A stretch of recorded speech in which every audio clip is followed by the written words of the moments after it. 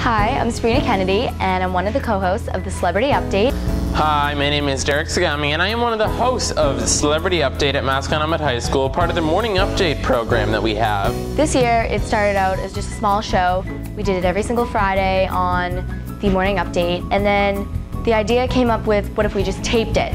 So we started taping the show, and it came out so much better. We were able to do what we wanted, talk about what we wanted in an amount of time that made it look cleaner, and it was much more fun to make it taped. We give a celebrity feel, but it's locally.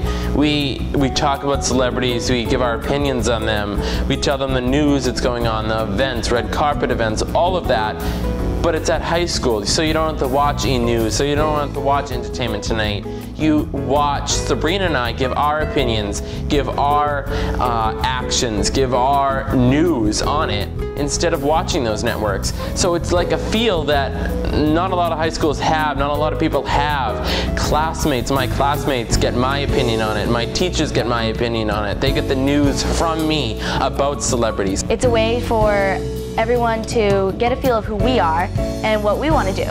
And this is this program is amazing. Like we love this show and we hope that next year we can have some improvements to the show. Maybe even make it a little longer and maybe have some more effects. But as of right now, we're very happy with the product and we hope that everyone enjoyed Celebrity Update this year. We both hope to pursue um, in this kind of field, anchor, uh, like celebrity analyst.